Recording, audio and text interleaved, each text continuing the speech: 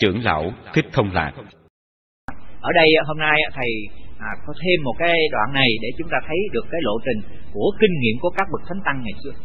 Từ các cái vị thánh tăng từ ông A Nan à, cho đến ông Xá Lợi Phất, ông Mục Kiền Liên, mỗi cái vị đều có kinh nghiệm. Mà hôm nay thầy trích ra một phần kinh nghiệm của ông A Nan nói trước.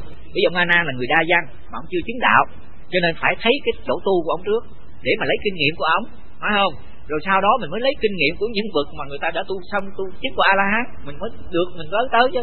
Còn mình lấy cái ông cao quá rồi mình đem lại của mình thì mình nhìn lại. À, mình còn xa quá làm sao mình dối cho được tới những kinh nghiệm kinh nghiệm của ông này? À, cho nên vì vậy mà thầy biết cách thầy sắp xếp cho từng bậc mà thánh tăng nó cái cái cái người nào mà tu ở giai đoạn nào để cho nó phù hợp với mình. Thì bắt đầu chúng ta sẽ bắt đầu cái vị thánh tăng thứ nhất là ông Ana. Ông này cuối cùng Đức Phật chết rồi ông mới chứng đạo là cho nên ông chẳng biết cái thứ gì mà nói về kinh nghiệm mà chính đạo trước được. Mà ông chỉ biết nói cái kinh nghiệm của ông trong khi theo Phật mà thôi. Vậy thì đầu tiên chúng ta theo Phật là phải như thế nào? Thì giờ phải giống ông A Nan chứ sao? Phải không? Chứ đâu thể nào mà giống ông một kiền liên được. Ừ. Vậy thì bây giờ đây là cái câu chuyện ở trong cái cái cái cái kinh. À trong rừng Gosinga. Đây là một cái bài kinh trong cái bộ kinh trung bộ tập 1 trang à, 463 à, bài kinh số 32 à, hôm nay thì tất cả những cái bài kinh mà thầy à, bổ túc thêm cho cái giáo án này thầy đều nói trang nói họ nói tên cho đầy đủ. Để sau khi đó quý thầy mới trích lục ra đọc lại cái bài kinh đó cho nó cụ thể giờ rồi không? Cho nên khỏi cần phải đi tìm kiếm cho nó nhiều. Còn thầy giảng mà như trong đó thầy không có nói kinh nào kinh nào.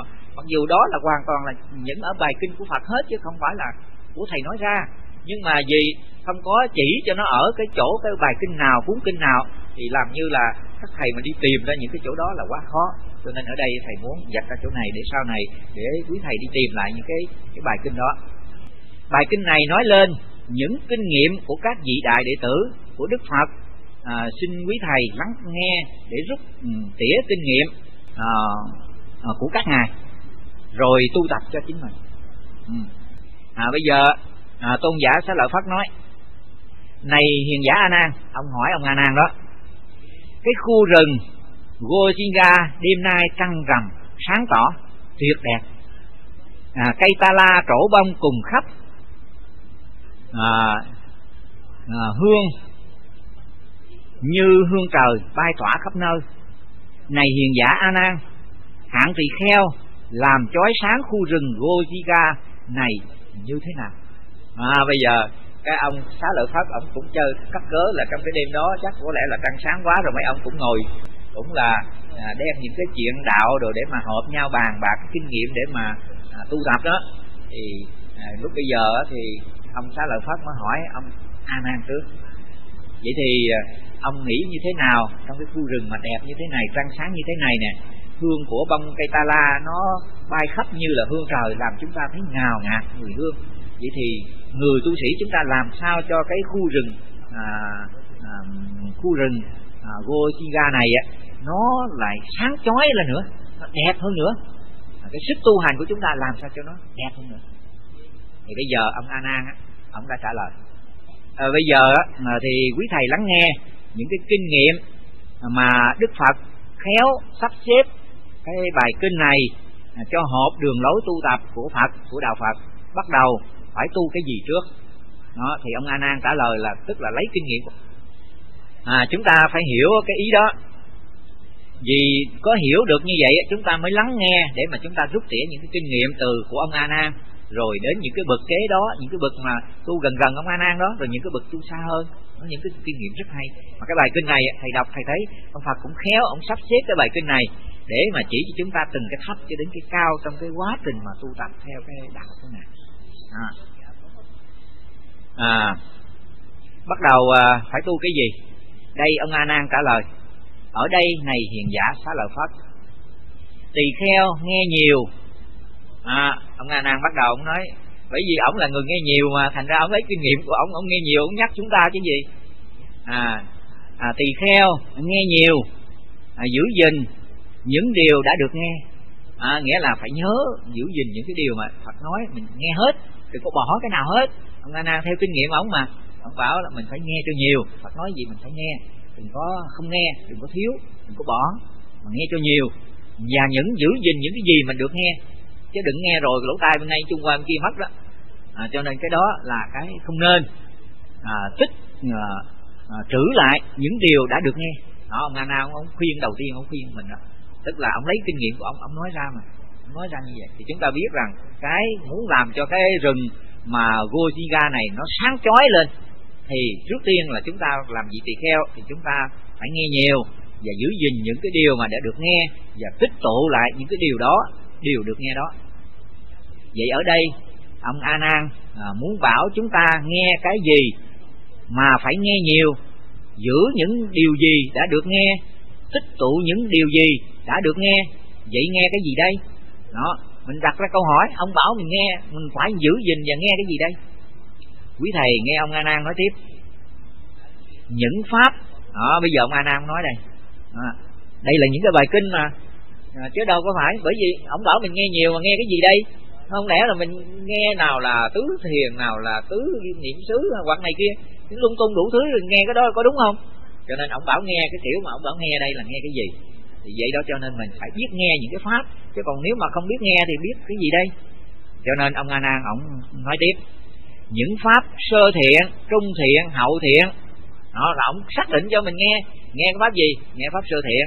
Nghe cho kỹ nghe cho rõ ràng. Rồi nghe cái pháp trung thiện, nghe cho kỹ nghe cho rõ ràng. Và hậu thiện cũng phải nghe cho kỹ nghe cho rõ ràng. Và nghe rồi thì phải giữ gìn và tích tụ những cái điều nghe đó, đừng có để quên. Đó, thì ông biểu như vậy đó. Văn nghĩa phải đầy đủ nghĩa là nghe phải văn phải nghĩa cho nó đầy đầy đủ. À, phạm hạnh phải được nói lên hoàn toàn thanh tịnh. Nghĩa là khi nghe rồi đó thì những cái phạm hạnh đó thì mình phải ừ, được nghe mà được nói lên những cái phạm hạnh nó phải thanh tịnh như thế nào. Làm sao cho nó được thanh tịnh ở trong những cái pháp này. Những pháp ấy quý vị phải được nghe nhiều giữ gìn à, giữ gìn lấy à, được tập đi lặp đi lặp lại nhiều lần. À, lớn tiếng ở trong này thì ông a nan bảo mình lặp đi lặp lại, lớn tiếng, được ý tứ, duy trì, được ừ, tri kiến, khéo quan sát, nghĩa là nghe những cái pháp đó rồi, mình phải lặp đi lặp lại mà lặp lớn tiếng nữa. Rồi phải ý tứ, duy trì ừ, những cái tri kiến đó, những cái sự hiểu biết đó, rồi còn phải quan sát, khéo quan sát nó nữa. Vị ấy nói pháp cho bốn hội chúng, nghĩa là khi mà mình đã hiểu biết rồi như vậy đó, thì mình đem ra mình lặp lại cho bốn hội chúng. Người ta nghe văn cú à, duyên dung lưu loát với mục đích khiến người hiểu biết đoạn trừ mọi tùy miên à cái mục đích của ông đó là khi mình nghe mình hiểu biết vậy rồi đó thì mình làm sao mà giúp cho người ta ừ, đoạn trừ mọi cái tùy miên như thầy đã dạy cho quý thầy có bảy cái tùy miên đó mà. Phải không? À, chứ không phải đây tùy miên đâu nha. Bảy cái tùy miên á chứ không phải là một à, do vì vậy đó cái mục đích của a nan ở đây là khi nghe nhiều hiểu nhiều là ở trong cái pháp sơ thiện trung thiện hậu thiện. Tức là pháp thiện của Phật toàn thiện đó. Lấy cái pháp thiện đó, đó mà làm sao mà cho đoạn dứt à, à đoạn dứt bảy cái tùy miên. Đó là cái mục đích của ông này chứ ông không có nói thiền có đạo gì hết. Nghĩa là lấy cái pháp thiện đó mà đoạn dứt tự nhiên làm cho cái tâm mình nó đừng miên man ở trong đó. Nghĩa đừng nói tiếp. Ví dụ bây giờ mình ham ngủ tức là thì miên rồi đó. Phải không? À, mình à, vọng tưởng á gọi là à, à, à, à, cử tùy miên đó. À, tùy miên đó. Nó liên tục nó nó nó nó nó nghĩ lăng xăng cái này cái kia phải dứt cái đó đi. À, rồi bây giờ à, sân tùy miên sân mà nó cứ kéo dài ngày này qua ngày khác nó tùy miên đó. Còn ham muốn cái gì đó mà không chịu dứt nó ra đó thì nó kéo nó làm sao mà cho đến khi mình mua sắm được cái đó đó gọi là tùy miên đó nó lôi mình hoài đó. Gọi là tùy miên à, chẳng hạn là thèm cái đó thèm cái bánh hay cái trái gì mà chưa ăn được cứ nhớ hoài đó nó gọi là à, gọi là tham tùy miên đó. À, đó nó kéo dài mình hoài đó. Mình nghi người nào đó mình cứ nghi ta ăn trộm hoài đó. Thì đó là nghi tùy miên còn cái ngã của mình ai đụng tới nó sừng ra đó. Thì đó là ngã tùy miên nó làm cho bự ra đó. Đó là nó tùy miên nó lôi mình hoài mà mình không chịu chấm dứt. Cho nên bây giờ đó mình học sơ thiện hậu thiện trung thiện này để mục đích của mình là đoạn dứt mấy cái tùy miên này. Đoạn dứt nó có hết không? Nó chưa có hết ông a thì ông nói đoạn dứt như vậy là ngay của mình giận mình biết là bây giờ nó tùy miên cái giận này bây giờ mình đừng có giận nữa nè không có giận nữa nè giận là nó tùy miên. À, chứ nó nó cứ làm miên mà cái nó làm cho liên tục cái sự giận của mình. Kéo dài ngày này cái mặt cứ buồn buồn hoài đó là nó tùy miên ở trong đó chứ gì. Cho nên bây giờ vui lên á không có được giận nữa giận như vậy là tùy miên phải đoạn dứt đi. Thì như vậy nó có hết giận không? Chưa. Phải không? Cái ông a nam cái kinh nghiệm ông bây giờ mới có dứt sơ sơ đừng có dứt tùy miên sơ sơ thôi. À, quý thầy thấy ông a nam ông dạy cách tu chúng ta đơn giản không? Có đâu có có gì. Giận thôi bây giờ đừng giận giận khổ chứ làm gì vậy mà mình nói vậy cái nó cũng bớt giận xuống chút. Tức là nó bớt tỳ miên chút đó. Đó là cái lối của ma nan dạ. Như vậy nó cũng làm sáng chói được cái khu rừng. Gosinga này phải không? Các bạn thấy nó bớt được cái đó nó làm sáng chói gì đức là có giải thoát trong đó đâu. Ừ. à, đến đây thầy xin dừng lại à, để à, quý thầy à, suy ngẫm. Đó bây giờ đó mình suy ngẫm cái giai đoạn đầu đi rồi ngày mai này mình sẽ học thêm à, được cái của người khác nữa. Phải không? Là bắt đầu để mình suy ngẫm chứ. Còn nếu mà phải đưa ra một lố kinh nghiệm bắt đầu chúng ta không biết cái kinh nghiệm nào hết. Bắt đầu mình dứt sơ sơ cho nó bớt tùy miên chút đi. Thì đó là cái đầu tiên. Mà cái đó phải nghe nhiều rồi phải tích tụ những cái sự nghe ở trong các pháp pháp thiện sơ thiện hậu thiện trung thiện. Đó. Thì như vậy là chúng ta thấy cái kết quả của sự tu tập chưa? À, mà bây giờ thầy nói nhiều quá thì tức là quý thầy sẽ sẽ sẽ sẽ mất đi.